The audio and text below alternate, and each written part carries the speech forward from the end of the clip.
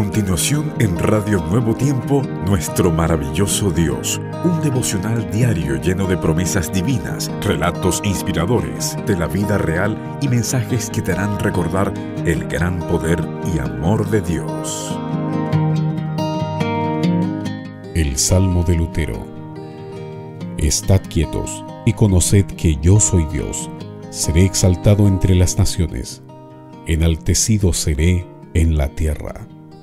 Salmo 46.10 El Salmo de Lutero. Así llaman algunos eruditos el Salmo 46, porque en él se basó el gran reformador para escribir su conocido himno Castillo Fuerte.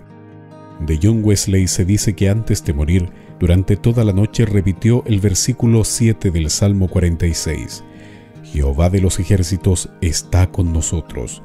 Nuestro refugio es el Dios de Jacob y según el libro Profetas y Reyes, muchos siglos antes los israelitas cantaron el Salmo cuando en tiempos de Josafat Dios los guió en una contundente victoria sobre los moabitas y los amonitas. ¿Qué hay en el Salmo 46 para que a éste hayan acudido los creyentes en busca de seguridad a lo largo de las edades? Si lo lees desde su inicio notarás que la primera imagen que transmite es de turbulencia la tierra se agita, las aguas se turban y tiemblan los collados. ¿Dónde encontrar seguridad en medio de tanta agitación? El Salmo responde, Dios es nuestro amparo y fortaleza, nuestro refugio es el Dios de Jacob. Por lo tanto, hemos de estar quietos y conocer al Dios que es digno de ser exaltado entre las naciones. Pero, ¿cómo estar quietos cuando alrededor hay tanta conmoción? El caso es que la expresión estar quietos no significa aquí cruzarse de brazos ni hacer otra cosa. Más bien quiere decir desistir, dejar tranquilo, entregarse.